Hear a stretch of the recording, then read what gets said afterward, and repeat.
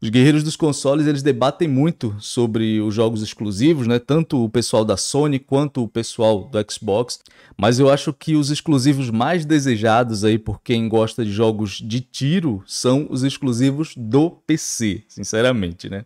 Infelizmente, só dá para jogar esses jogos se você tiver um bom PC gamer. E aí é caro, a gente sabe que tá caro pra caramba. Mas tem algum desses jogos que já foram confirmados para consoles, beleza? Então vamos conferir alguns deles aqui.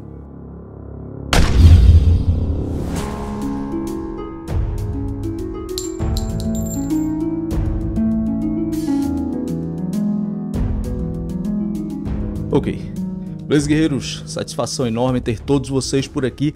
Eu sou o William Roth e hoje é dia de trazer mais uma lista bem interessante aí para você que é dos consoles, você que gosta de um bom jogo de tiro tático, né? Essa lista é para você. Nos últimos dias aí eu fiz um outro vídeo aqui com games desse estilo que vão estar tá chegando aí para os consoles, mas no caso daquele vídeo lá, o foco era em jogos que deviam chegar agora em 2023, né? Tá uma coisa um pouco mais imediata, que é já agora no próximo ano.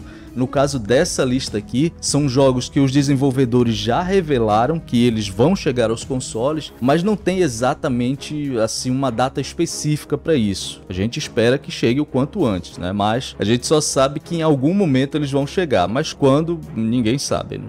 Eu vou falar sobre esses novos games aqui, mas antes, você que é um guerreiro novato por aqui, já chega metralhando aí esse like. Se você gosta de jogos de tiro, principalmente os de tiro tático, você está no local exato, beleza? Então já foca na missão aí, se inscreve, ativa o sininho, você sabe o que é que tem que fazer. Vamos que vamos.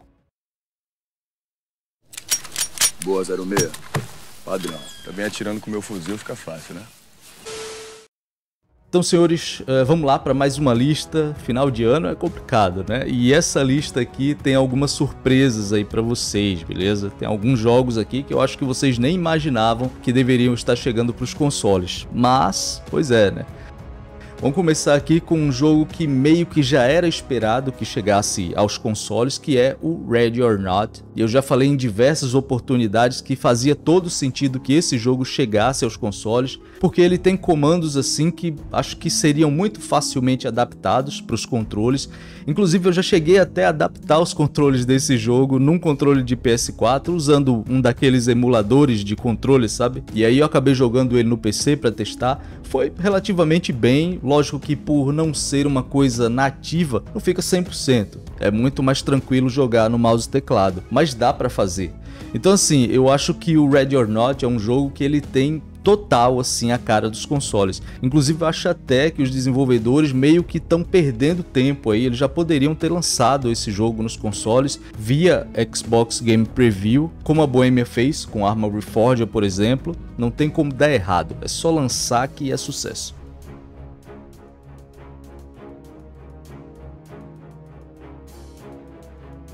Um outro jogo que os desenvolvedores já manifestaram a vontade de trazer para os consoles é o Thunder Tier 1. Vocês conhecem ele aqui, já trouxe diversas vezes. E aqui a gente tem uma situação de meio que unir o útil ao agradável, né? Porque esse jogo ele não teve o retorno esperado nos PCs, provavelmente por causa da pirataria. Eu vi muita gente dizendo que tinha jogado pirata e tal, porque não valia a pena comprar. É uma pena porque esse jogo é um jogo de nicho, né, por ser um jogo de tiro tático e ele é ainda mais nichado por ser um jogo de tiro isométrico. Então é um jogo que fatalmente é, ele não alcançaria um público muito grande. E aí o público que ele consegue alcançar, que são as pessoas que podem gostar daquilo, o cara ao invés de comprar prefere piratear. É, complicado, né, cara? É um jogo indie, não dá nem para usar a desculpa de que o cara pirateou porque tava caro. Esse jogo na Steam hoje, ele tá custando 40 reais, eu acho. A todo momento ele entra numa promoção aí, fica pela metade desse preço. Então, assim, cara, não tem justificativa para isso. Se você pirateou esse jogo, pô, compra, velho. É o mínimo que você pode fazer para poder ajudar.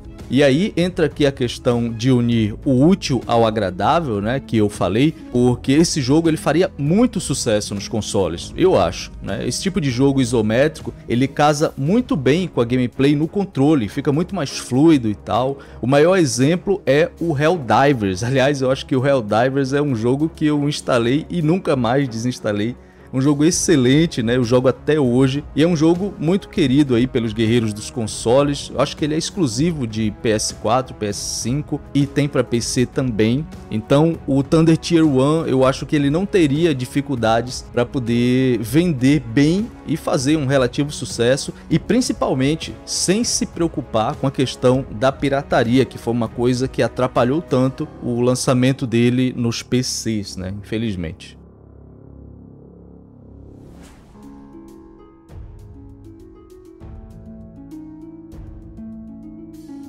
Eu acho que o exclusivo de PC mais desejado aí pelos guerreiros dos consoles é o Escape from Tarkov.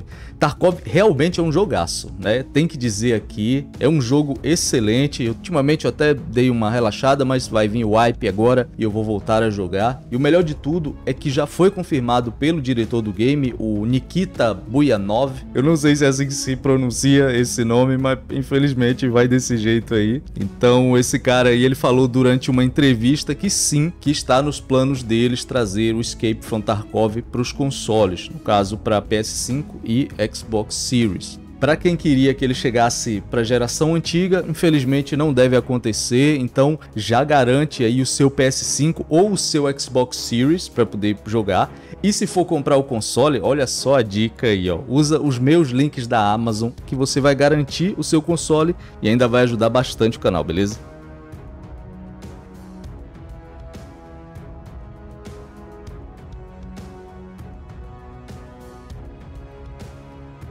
O subgênero de terror tático, ele tá em alta, né? Já falei várias vezes por aqui. E é um excelente momento pro GTFO chegar aí nos consoles, né? O jogo ele foi lançado no ano passado, já existia uma expectativa de que ele fosse anunciado para os consoles também. Infelizmente não anunciaram, mas os desenvolvedores já revelaram que tem o interesse sim em trazer para todas as plataformas, né? No caso hoje ele está disponível só para os PCs, mas deve estar tá chegando também para o PS5 e para o Xbox Series, então é só uma questão de tempo mesmo. O jogo ele continua recebendo atualizações periódicas, então os caras estão trabalhando aí no jogo. Ou seja, um porte para essa nova geração já deve estar tá bem encaminhado.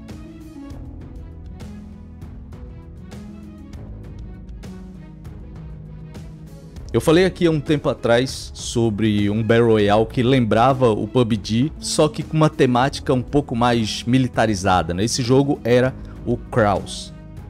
Esse jogo ele não é exatamente um jogo de tiro tático, né? Ele vai mais na vibe do PUBG mesmo, mas ele é o que podemos chamar aí de tático casual, sabe? Alguma coisa nesse sentido. E é mais um jogo que deve estar chegando aos consoles também. O diferencial dele, né, certamente é o fato de ser free to play. Nos PCs, o jogo ele tem mantido uma boa regularidade de updates, estão consertando muita coisa e tal, e a player base também tem se mantido ativa, bem interessante mesmo. Inclusive ele deve ser aí um bom concorrente para o Warzone quando chegar. Comenta aí embaixo, né, qual desses jogos vocês estão esperando mais para os consoles, quando vocês acham que vai chegar. Como não tem data confirmada, a gente fica sempre nessa expectativa ou se vocês têm algum outro jogo aí que é de PC e que deve estar tá chegando, mas que eu não incluí nessa lista, comenta aí, beleza? Esquece de deixar o like aí para poder ajudar na relevância do vídeo e, se possível, torne-se um membro para poder ajudar ainda mais o canal.